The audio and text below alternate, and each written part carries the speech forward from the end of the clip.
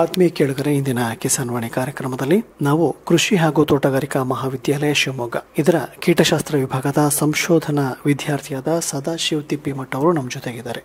ಇವರು ನಮಗೆ ಇಂದು ತೆಂಗು ಹಾಗೂ ಅಡಿಕೆಯಲ್ಲಿ ಕಂಡುಬರ್ತಕ್ಕಂತಹ ಕೆಂಪು ನುಸಿ ಬಾಧೆ ಹಾಗೂ ಇದರ ಹತೋಟಿ ಕ್ರಮಗಳು.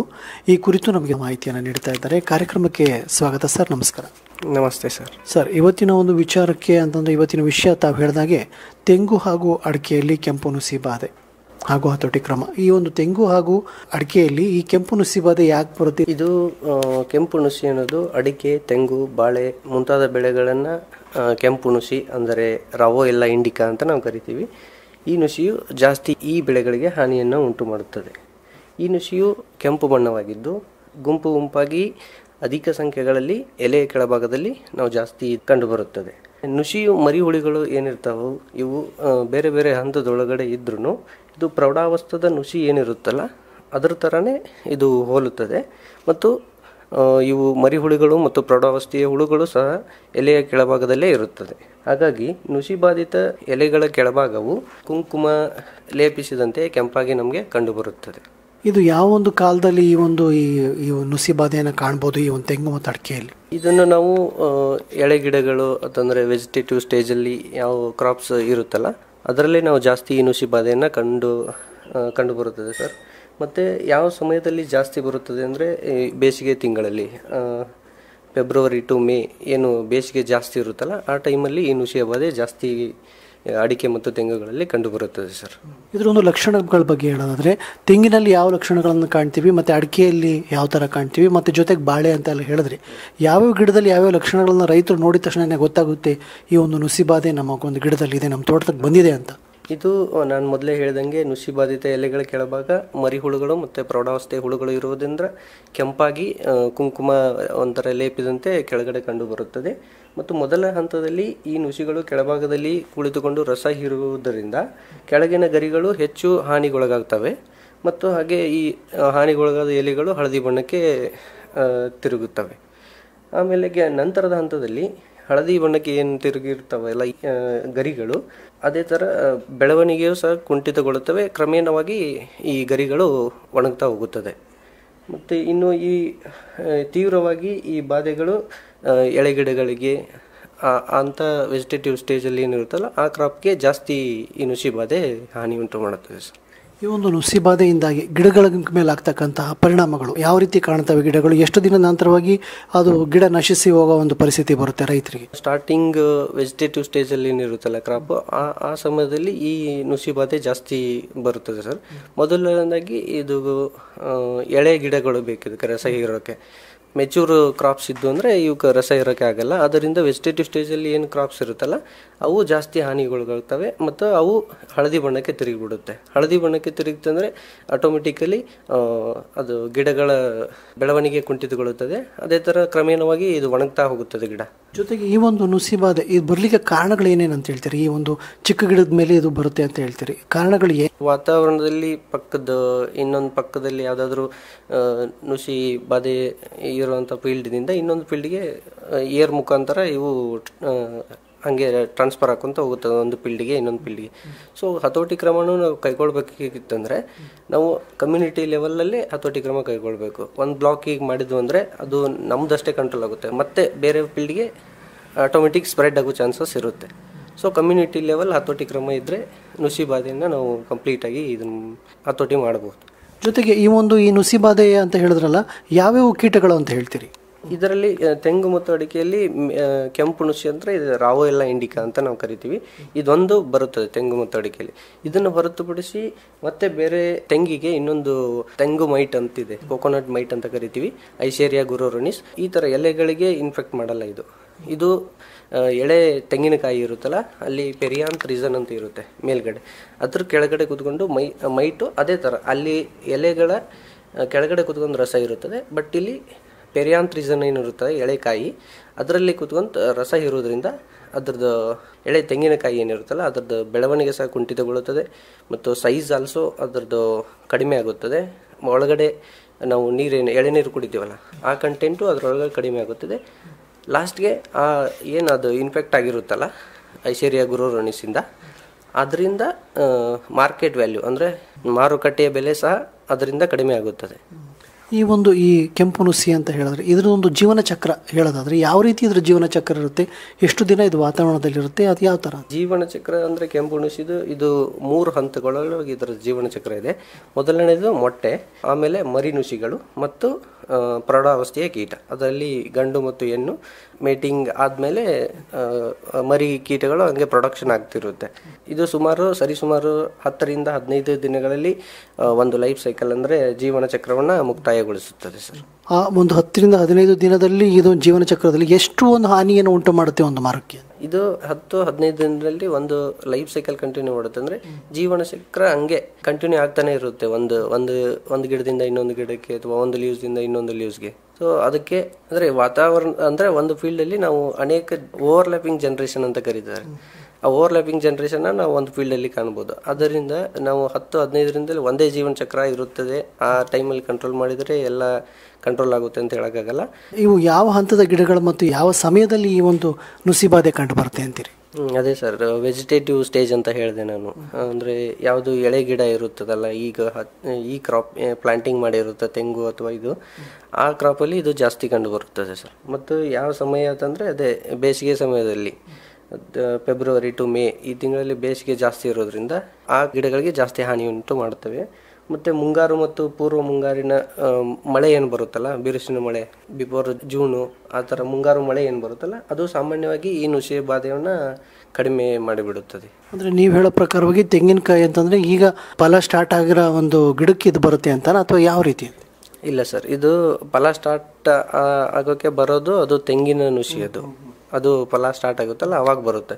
ಬಟ್ ಇದು ವೆಜಿಟೇಟಿವ್ ಸ್ಟೇಜ್ ಹಚ್ಚಿ ಪ್ಲಾಂಟಿಂಗ್ ಮಾಡಿ ಇನ್ನೂ ಒನ್ ಆರ್ ಟೂ ಇಯರ್ಸ್ ಆಗಿರುತ್ತಲ್ಲ ಆ ಕ್ರಾಪಲ್ಲಿ ಜಾಸ್ತಿ ಬರುತ್ತೆ ಇದು. ಅಡಿಕೆಯಲ್ಲಿ? ಅಡಿಕೆಯಲ್ಲಿ. ಅಂದ್ರೆ ಅಡಿಕೆಯಲ್ಲಿ ಅದು ಬರುತ್ತೆ ಅಂದ್ರೆ ನಾವು ಗಿಡಗಳ ತಳಿಗಳ ಆಯ್ಕೆಯನ್ನು ಸರಿಯಾಗಿ ಮಾಡ್ಕೋಬೇಕು ಅಥವಾ ಅದು ಹಾಕಿದ್ಮೇಲೆ ಅದು ತನ್ನಷ್ಟಕ್ಕೆ ತಾನೇ ಪಕ್ಕದಲ್ಲಿ ಇರ್ತಕ್ಕಂಥ ಒಂದು ತೋಟದಿಂದ ಬರ್ತಕ್ಕಂಥದ್ದು? ತಳಿಗಳ ಆಯ್ಕೆ ಅಂತ ಏನಿಲ್ಲ ಸರ್ ಬೇರೆ ಪ್ಲಾಟಿಂದ ಇನ್ಫೆಕ್ಟ್ ಆಗಿತ್ತಂದ್ರೆ ಆಟೋಮೆಟಿಕಲಿ ಏರ್ ಒಳಗಡೆ ಬಂದ್ಬಿಡುತ್ತೆ ಇದು.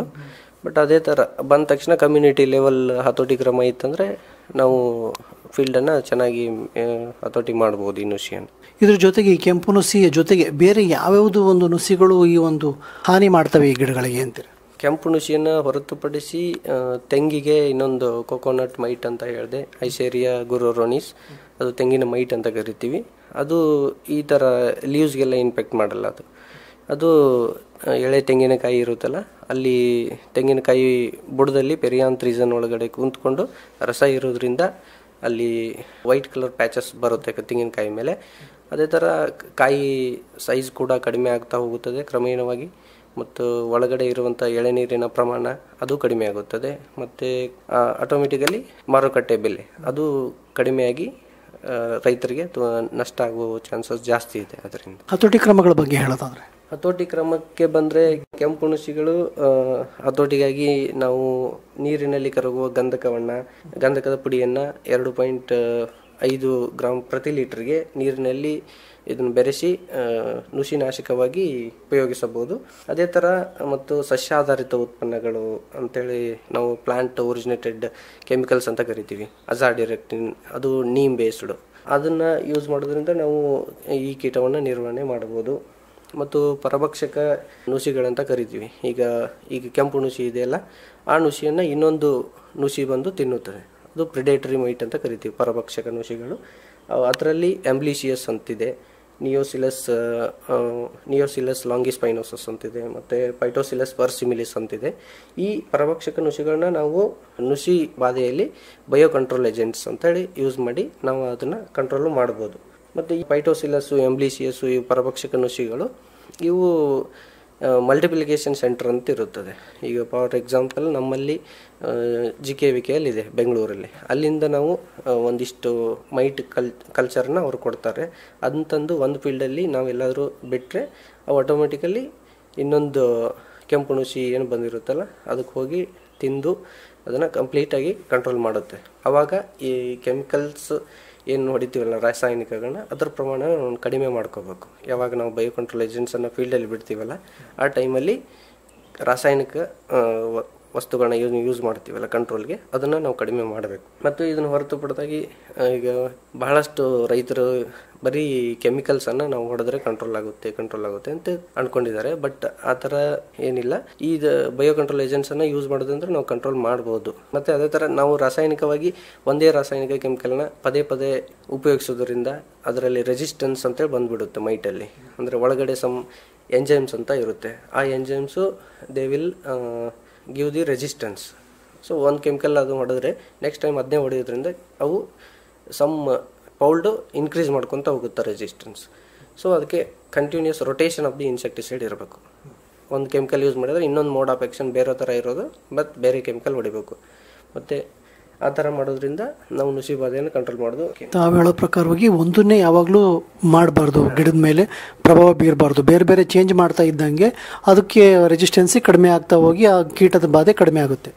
ಹೌದು ಸರ್ ಅದೇ ಥರ ಒಂದು ಕೆಮಿಕಲ್ನ ಯೂಸ್ ಮಾಡೋದಂದ್ರೆ ಅದಕ್ಕೆ ಗೊತ್ತಾಗುತ್ತೆ. ಒಂದು ಫಸ್ಟ್ ಟೈಮ್ ಒಂದು ಫಿಫ್ಟಿ ಇನ್ಸೆಕ್ಟ್ಸ್ ಹತ್ತು ಅಂದರೆ ನೆಕ್ಸ್ಟ್ ಟೈಮು ಅದನ್ನೇ ಹೊಡೆಯೋದ್ರಿಂದ ಸೊ ದೇ ವಿಲ್ ಅಡಾಪ್ಟ್ ಆಗಿರುತ್ತೆ ಆ ಕೆಮಿಕಲ್ಗೆ ಅದಕ್ಕೆ ಬೇರೆ ಮೋಡ್ ಆಫ್ ಆ್ಯಕ್ಷನ್ ಇರೋದು ಕೆಮಿಕಲ್ಸನ್ನು ನಾವು ಚಾಯ್ಸ್ ಮಾಡಿಕೊಂಡು ಅದು ಹೊಡೆಯೋದ್ರಿಂದ ಅದರ ರೆಸಿಸ್ಟೆನ್ಸು ಕಡಿಮೆ ಮಾಡ್ಕೊಂಡು ಹೋಗ್ಬೋದು. ನಾವು ಮೈಟನ್ನು ಅಥವಾ ನುಸಿ ಬಾಧೆಯನ್ನು ಜಾಸ್ತಿ ಕಂಟ್ರೋಲ್ ಮಾಡ್ಬೋದು. ಅಂದರೆ ಎಷ್ಟು ದಿನದ ಅಂತರದಲ್ಲಿ ಈ ಒಂದು ಸಿಂಪಡಿಸೋದು ಅಂತ ಹೇಳ್ತೀರಿ? ಇದು ನುಸಿ ಬಾಧೆ ಜಾಸ್ತಿ ಇದ್ದ ಟೈಮಲ್ಲಿ ಒಂದು ಹದಿನೈದು ದಿನ ಅಂತರದಲ್ಲಿ ನಾವು ಸ್ಪ್ರೇಯನ್ನು ಹೇಳ್ತೀವಿ ಸರ್. ತದನಂತರದಲ್ಲಿ ಸ್ಪ್ರೇ ಹೇಳ್ತೀನಿ ಅಂತ ಹೇಳಿದ್ರಿ.